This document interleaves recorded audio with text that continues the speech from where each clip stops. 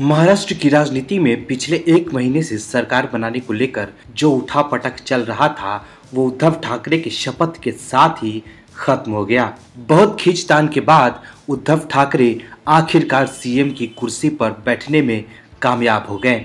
लेकिन उद्धव के सीएम बनने से पहले महाराष्ट्र की राजनीति पल पल बदलती रही। शिवसेना, कांग्रेस और एनसीपी सरकार बनाने पर मंथन ही कर रहे थे कि अचानक रातों रात कहानी बदल गई। देवेंद्र फडणवीस सीएम और अजित पवार डेप्यूटी सीएम पद की शपथ ली और फिर राजनीतिक भूचाल आ गया। लेकिन जब फडणवीस सरकार के बहुमत परीक्षण का वक्त आया तो अजित पवार ने इस्तीफा दे दिया और अपने चाचा शरद पवार के पाले में चले गए। अब राजनीतिक गलियारों में राजनीतिक पंडित इसका विश्लेषण कर रहे हैं और शरद पवार को चाणक्य कहा जा रहा है। चर्चा है कि क्या शरद पवार अपने भतीजे अजित को बीजेपी की ओर भेजकर एक साथ कई चालें चली थी, जो देवेंद्र फडणवीस नहीं समझ सके और पवार का काम भी हो गया। सवाल इसलिए भी उठने लगा है कि बीजेपी से हाथ मिलाने के बाद जब अजित पवार एनसीपी खेमे में लौटे तो अजित पर कोई कार्रवाई नहीं हुई। इसके अलावा अजित पवार को उद्धव ठाकरे सरकार में अहम मंत्रालय भी दिया जाएगा। उद्धव ठाकरे के शपथ ग्रहण में अजित पवार के साथ शिवसेना और एनसीपी के नेताओं का वर्ताव ऐसा था जैसे कुछ हुआ ही न हो। एनसीपी के कार्यकर्ता भी कह रहे थे कि we love you Ajit Dada. Shiv Sena के नेता संजय राउत ने कहा कि, अजित पवार ने बड़ा काम किया है। यही वजह है कि यह सवाल उठने लगा कि अजित पवार के बीजेपी के साथ हाथ मिलाने के पीछे कोई सोची समझी साजिश तो नहीं थी। फ़िलहाल अभी यह रहस्य ही बना हुआ है, लेकिन बीजेपी भी चुप बैठने वाली नहीं है। शरद पवार महाराष्ट्र के चाणक्य के रूप में उभरे हैं तो अमित शाह देश के चाणक्य माने जाते हैं, और बीजेपी ने छानबीन भी शुरू कर दिया है। इसके संकेत देवेंद्र फडणवीस ने दिए हैं। महाराष्ट्र में उद्धव ठाकरे की ताजपोशी हो गई। गठबंधन की सरकार भी बन गई, लेकिन सबसे ज़्यादा सीट होने के बावजूद बीजेपी से बाहर हो गई। आपको बता दें कि बीजेपी और शिवसेना की सरकार बन सकती थी। अगर बीजेपी का शीर्ष नेतृत्व तो केंद्रीय मंत्री नितिन गडकरी को मुख्यमंत्री बनाने के लिए मान जाता तो आज महाराष्ट्र में बीजेपी शिवसेना गठबंधन की दोबारा सरकार बन चुकी होती। क्योंकि शिवसेना देवेंद्र फडणवीस की जगह गडकरी को मुख्यमंत्री बनाने और ढाई साल के लिए अपना मुख्यमंत्री बनाने की शर्त छोड़ने के लिए राज़ी थी। शिवसेना ने यह प्रस्ताव बीजेपी के कार्यकारी अध्यक्ष जेपी नड्डा को दिया था, लेकिन बीजेपी शीर्ष नेतृत्व तो इसके लिए राज़ी नहीं हुआ। इतना ही नहीं, संघ भी गडकरी के नाम पर तैयार हो गया था। सर संघ चालक मोहन भागवत से इसकी चर्चा की तो वह भी इस बदलाव के लिए राज़ी हो गए। बताया जाता है कि उन्होंने कहा कि देवेंद्र और नितिन दोनों ही उनके लोकप्रिय और संघ के स्वयं सेवक हैं। इसलिए अगर पहले पाँच साल देवेंद्र फडणवीस को मौका मिला तो अब अगर नितिन गडकरी बनते हैं तो संघ को कोई ऐतराज नहीं होगा। दरअसल बीजेपी नेतृत्व को पूरा भरोसा था कि शिवसेना कांग्रेस के साथ नहीं जा सकती है, और अगर जाना भी चाहेगी तो कांग्रेस कभी इसके लिए तैयार नहीं होगी, क्योंकि उसकी धर्मनिरपेक्षता की राजनीति उसे ऐसा नहीं करने देगी। इसलिए कोई अन्य विकल्प नहीं होने से देर सवेर शिवसेना झुक जाएगी। लेकिन महाराष्ट्र में तो खेल ही बदल गया। कल तक जो सीएम था, आज विपक्ष में बैठेगा और सत्ता की मलाई कोई और चाटेगा। महाराष्ट्र विधानसभा चुनाव के बाद सरकार बनाने के लिए बीजेपी शिवसेना में सीएम पद को लेकर खींचतान चल रही थी। बीजेपी ने सीएम पद देने से मना कर दिया, जिसके बाद शिवसेना ने एनसीपी और कांग्रेस की ओर हाथ बढ़ा दिया। शिवसेना एनसीपी और कांग्रेस में सरकार बनाने पर चर्चा शुरू हो गई। शिवसेना और कांग्रेस को साथ लाने में शरद पवार की अहम रणनीति चल रही थी।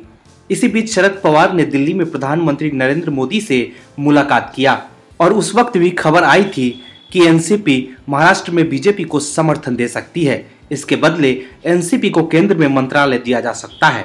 लेकिन अब जो खबर आ रही है, उसके मुताबिक अगर पीएम मोदी शरद पवार की शर्त मान लेते तो इस वक्त महाराष्ट्र में बीजेपी की सरकार होती।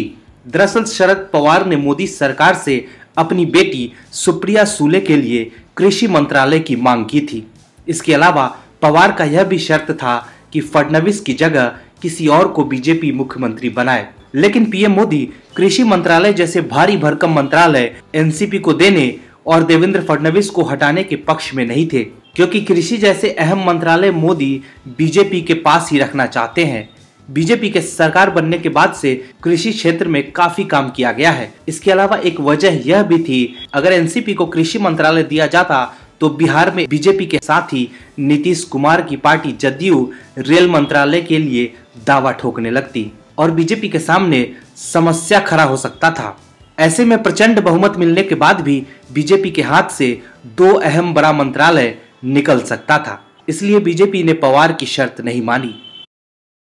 महाराष्ट्र में उद्धव सरकार बन गई, पूरे धूमधाम से शिवाजी पार्क में उद्धव ठाकरे की ताजपोशी हुई। हिंदुत्व की छवि से बाहर निकलकर अब उद्धव ठाकरे सेकुलर राजनेता बन गए। लेकिन इसके पीछे कई सवाल भी है। उद्धव के शपथ ग्रहण में शिवसेना ने तमाम पार्टियों को न्योता दिया था। लेकिन नीतीश से लेकर ममता बनर्जी, मायावती, अखिलेश यादव, अरविंद केजरीवाल कोई उनके शपथ में शामिल नहीं हुआ। उम्मीद थी कि कर्नाटक जैसा ही कुछ होगा। जब कुमारस्वामी की सरकार बनी थी तो मंच की वो तस्वीर सबको याद होगी, जब हाथ उठाकर सब खड़े थे और विपक्ष की एकजुटता का नारा दिया था। लेकिन मुंबई में ऐसा कुछ नहीं हुआ। सबसे बड़ी बात तो ये है कि जिस गठबंधन की बदौलत उद्धव महाराष्ट्र की गद्दी पर काबिज हुए, उसका ही शीर्ष नेतृत्व तो शपथ ग्रहण से नदारत था। शिवाजी पार्क में ना सोनिया गांधी कहीं नज़र आई, ना राहुल गांधी और ना ही पूर्व पीएम मनमोहन सिंह। जबकि उद्धव ठाकरे के बेटे आदित्य ठाकरे ने दिल्ली आकर सबको न्योता दिया था। तो सवाल यही है कि आखिर कांग्रेस की ये कैसी राजनीति है? एक तरफ़ महाराष्ट्र में वो ऐसी पार्टी को सपोर्ट कर रही है, जिसकी विचारधारा ही हिंदुत्व की है, लेकिन दूसरे राज्यों के चुनाव को देखते हुए शपथ ग्रहण से दूरी बना लेती है। क्या अभी भी कांग्रेस और बाकी दलों को वोट बैंक की राजनीति सता रही है? अगर ऐसा ही है तो आगामी चुनाव में इसका असर ज़रूर दिखेगा। महाराष्ट्र में ठाकरे राज शुरू हो गया। अपनी पुरानी साथी बीजेपी से रिश्ता तोड़ने के बाद शिवसेना ने एनसीपी और कांग्रेस से हाथ मिला लिया और उद्धव ठाकरे महाराष्ट्र के 18वें मुख्यमंत्री के रूप में 28 नवंबर को मुंबई के शिवाजी पार्क में शपथ ली। ठाकरे सरकार बनते ही उद्धव ठाकरे ने वादों की झड़ी लगा दिया, लेकिन उन वादों को वो पूरा करते हैं या नहीं, यह तो वक्त ही बताएगा। लेकिन उद्धव ठाकरे के शपथ लेने के बाद कांग्रेस को झटका ज़रूर लगा है। कांग्रेस पार्टी हर पल पीएम मोदी को कोसती रहती है और शिवसेना के साथ गठबंधन करने के बाद कांग्रेस के नेता ऐसे बोलने लगे, मानो वो कल ही मोदी सरकार को सत्ता से हटाकर कांग्रेस की सरकार बना लेंगे।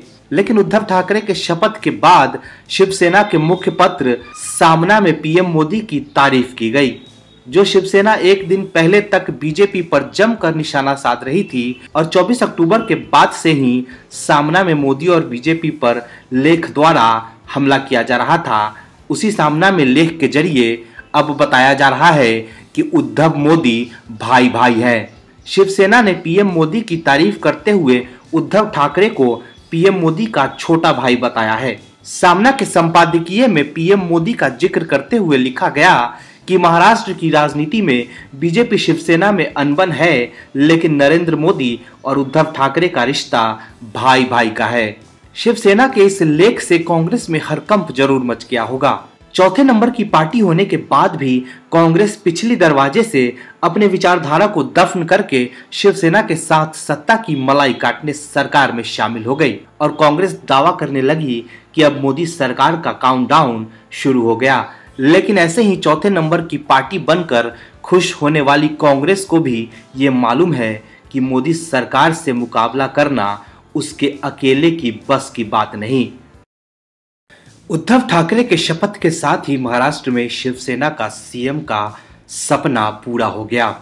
20 साल बाद शिवसेना का मुख्यमंत्री बना और ठाकरे परिवार से पहला मुख्यमंत्री राज्य को मिला। लेकिन शिवसेना को इसके लिए भारी कीमत चुकानी पड़ी। जो शिवसेना अपने आप को हिंदू विचारधारा की पार्टी कहती थी, वो आज धर्मनिरपेक्ष पार्टी कहने वाली कांग्रेस के साथ हाथ मिला लिया। उद्धव ठाकरे तथा कथित सेकुलर नेताओं के हीरो बन गए। विपक्षी नेताओं को लग रहा है कि शिवसेना को अपने पाले में करके मोदी के खिलाफ एक नई शुरुआत हुई है, जिसका संदेश देश के दूसरे राज्यों तक पहुंचेगा। लेकिन सवाल यह है कि जो शिवसेना हर साल 6 दिसंबर को शौर्य दिवस मनाती है, वो इस बार क्या करेगी? दरअसल शिवसेना के संस्थापक बाला साहेब ठाकरे हमेशा कहते थे कि 6 दिसंबर उन्नीस सौ बानवे को शिव सैनिकों द्वारा ही अयोध्या में बाबरी मस्जिद को गिराई गई थी। शिवसेना हर साल 6 दिसंबर को शौर्य दिवस के रूप में मनाती है, जबकि कांग्रेस इस दिन को देश भर में काला दिवस के रूप में मनाती है। लेकिन इस बार 2019 में शिवसेना ने कांग्रेस और एनसीपी के साथ मिलकर सरकार बनाई है। तो देखने वाली बात यह है कि उद्धव ठाकरे इस बार क्या करेंगे। और सोनिया गांधी का क्या रुख होगा? इसके अलावा शरद पवार की भूमिका भी देखने वाली होगी। 6 दिसंबर को किस तरह से शिवसेना कांग्रेस में टकराव होता है? क्योंकि कांग्रेस तो 6 दिसंबर को काला दिवस मनाएगी ही, लेकिन शिवसेना शौर्य दिवस मनाती है या उद्धव ठाकरे इस दिन को शौर्य दिवस के रूप में न मनाकर यह साबित कर देंगे कि अब वो सेकुलर बन गए हैं। फ़िलहाल शिवसेना की ओर से शौर्य दिवस को लेकर कोई बयान नहीं दिया गया है। बाला साहेब द्वारा शुरू की गई शौर्य दिवस को बंद करके उद्धव ये साबित कर सकते हैं कि अब वो सेकुलरिज्म का पोस्टर बॉय बन गए हैं। खैर, जो भी हो, लेकिन इसका जवाब 6 दिसंबर को ही मिलेगा। उद्धव ठाकरे ने मुख्यमंत्री का कार्यभार संभाल लिया। शपथ लेने के बाद ही उद्धव ठाकरे ने कैबिनेट की बैठक की और लगा कि किसानों के कर्ज माफ़ी का ऐलान नए मुख्यमंत्री द्वारा कर दिया जाएगा, लेकिन ऐसा कुछ नहीं हुआ। शिवसेना, एनसीपी और कांग्रेस ने दावा किया था कि जनता के हित में काम करने के लिए इस गठबंधन की सरकार बन रही है। और सरकार बनते ही पहली कैबिनेट मीटिंग में तीनों पार्टियों में मंत्रालय बंटवारे पर चर्चा हुआ। कर्ज माफ़ी मामले को फ़िलहाल ठंडे बस्ते में डाल दिया गया है। और शिवसेना के नेता संजय राउत कह रहे हैं कि फडणवीस महाराष्ट्र सरकार पर पाँच लाख करोड़ का कर्ज छोड़ गए हैं। शिवसेना फडनवीस पर ठीकरा फोड़कर अपने वादे से बचने की कोशिश में है। लेकिन जनता तो ये सवाल ज़रूर करेगी कि फडनवीस सरकार में तो शिवसेना भी साथी थी तो उस कर्ज के लिए शिवसेना भी उतना ही जिम्मेदार है। फ़िलहाल जनता की समस्याओं को छोड़कर मंत्रालय के बंटवारे को लेकर तीनों पार्टियों में पेच फंसा हुआ है, जिसे सुलझाने में उद्धव बेचारे फंसे हुए हैं। डिप्टी सीएम पद को लेकर भी कांग्रेस और एनसीपी में टकराव बढ़ता जा रहा है। अब दो डिप्टी सीएम के फॉर्मूले पर विचार किया जा रहा है। एनसीपी और कांग्रेस में विधानसभा अध्यक्ष के पद को लेकर भी खींचतान चल रही है। इस वक्त तीनों पार्टियाँ मलाईदार पद अपने अपने पक्ष में करने में जुटे हैं। इसके अलावा खबर यह भी है कि उद्धव ठाकरे शनिवार को ही विधानसभा में बहुमत परीक्षण करवाना चाहते हैं। राज्यपाल भगत सिंह कोश्यारी ने तीन दिसंबर तक का समय उद्धव सरकार को दिया था, लेकिन उद्धव ठाकरे जल्द से जल्द बहुमत साबित करना चाहते हैं। उद्धव को विधायकों के टूटने का डर हो सकता है। इस पर बीजेपी ने कहा कि अगर बहुमत नहीं था तो दावा क्यों किया? फडणवीस ने कहा कि राज्य की जनता जानना चाहती है कि शिवसेना एनसीपी कांग्रेस का महाराष्ट्र विकास अघाड़ी गठबंधन विधानसभा में बहुमत होने का दावा करने के बाद अब डरा क्यों हुआ है? ब्यूरो रिपोर्ट ओ न्यूज़ और भी वीडियोस देखने के लिए चैनल को सब्सक्राइब करें और बेल आइकन को दबाएँ।